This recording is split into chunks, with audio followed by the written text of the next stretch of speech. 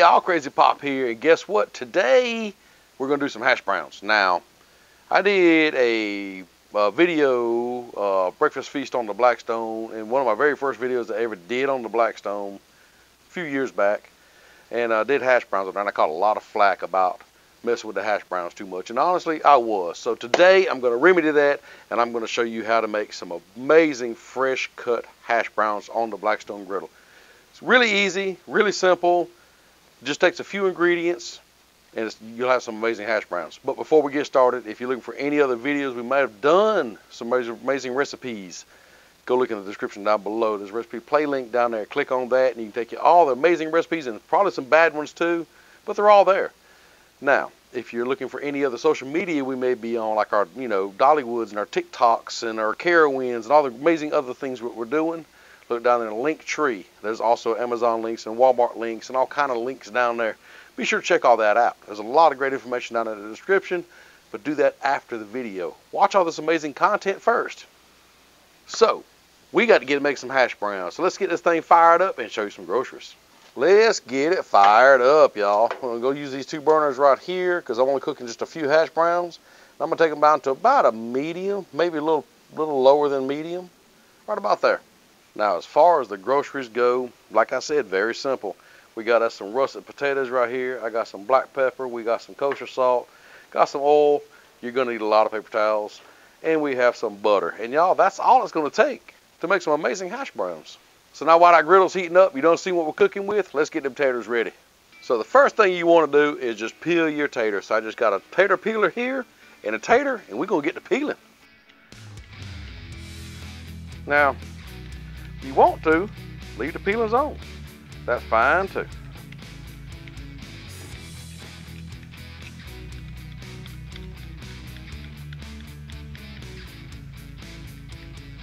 There we go. Go. Place on that side. There we go.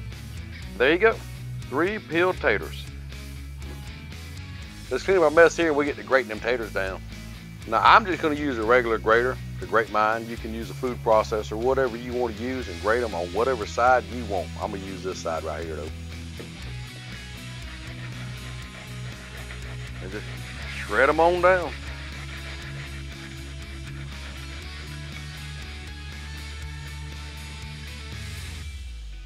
There we go. A whole mess of taters.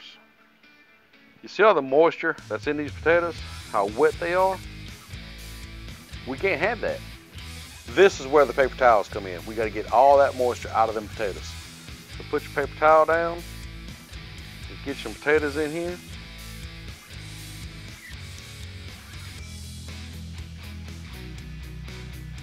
And just squeeze.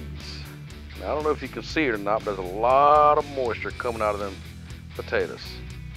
And just take it over here on the other paper towel.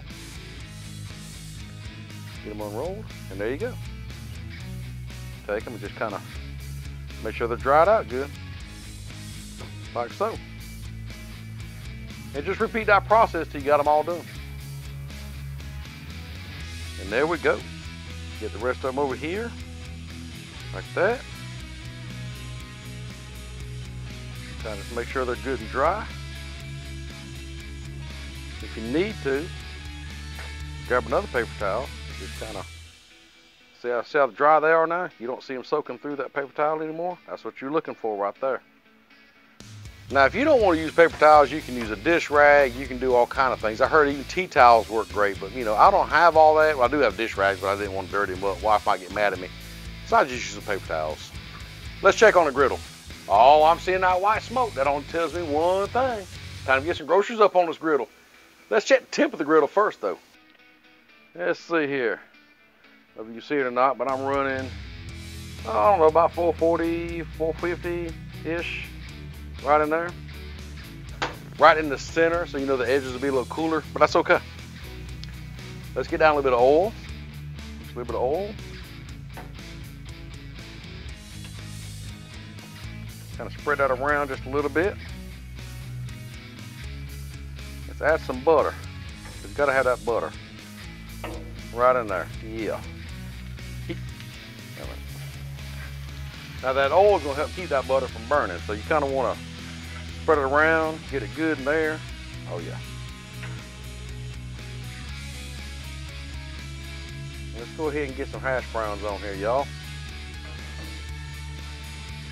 Of pat them out thin, like so.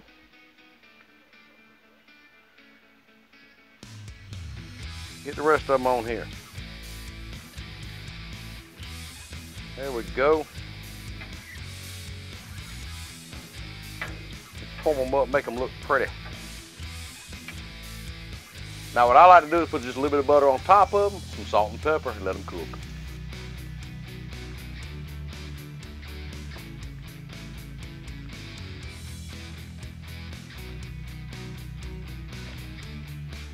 All right, got that butter on there. Add the salt. Just a little bit of salt and some fresh cracked pepper.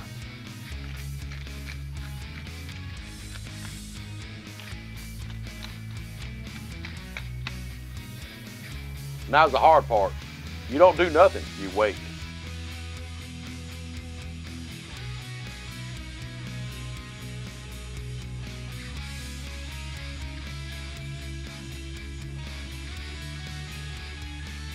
Now these hash browns have been going for five minutes so, I don't know, a little over five minutes. But what you want to do is kind of get your spatula, lift up a little bit, look under that backside and see how dark it is. And you get them like you want them. And when you're ready to, flip them. Let's take a look here, y'all. Ooh, hope, hope you can see that. That looks good under there. Let's check this one. Oh yeah, it's time to flip these things. And now to flip them, I prefer a big spatula. So I broke out my hamburger spatula. Just get up under, give them a flip. Look at there. Give them a flip. Now that's looking good.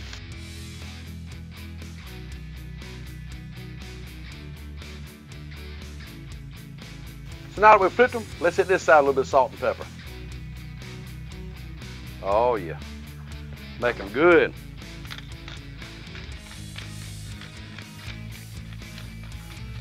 All right, now here's the hard part again. Let them cook.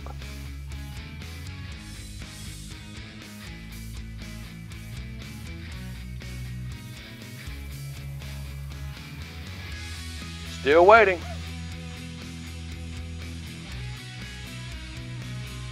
All right, let's flip these over and see what they look like and see if they're ready to take up. There we go. Nice, pretty hash brown. I say it's time to take them up. So grab your plate and just take them up. So here they are, my nice crispy hash browns already. Let's take them over here and take a look at them. Now that is some pretty crispy looking hash browns right there. Nice golden brown color to it. You can see that pepper, you know that salt's in there. I believe these gonna taste pretty good. I say we try one out. What y'all think? So there they are. Nice crispy hash browns on the Blackstone. Not that hard, just need patience. Well, let's try one out. Mm -hmm. I don't know if you can hear it or not. They're good and crunchy. But they're not burnt. They're not overdone, as you see. And look at that. Good, pretty looking color to them. These are actually delicious. That salt and pepper, just right on them. Nice fresh potatoes. Speaking of fresh, I think that's the best way to go. I've done frozen, I've done the pre-made ones. I never did dehydrate, I can't speak on those. But now fresh, fresh anything is just always better in my opinion. So use the fresh, squeeze the, squeeze the moisture out of it, put them on that griddle with some oil and some butter. Patience. Use patience. That's the best thing I can tell you. So with that being said, hope you enjoyed it. Hope you know how to make amazing hash browns. If you do make hash browns, take a picture of them, tag me in it. I would love to see how you make your hash browns. So I got to finish these up real quick, and uh, we'll see you next time.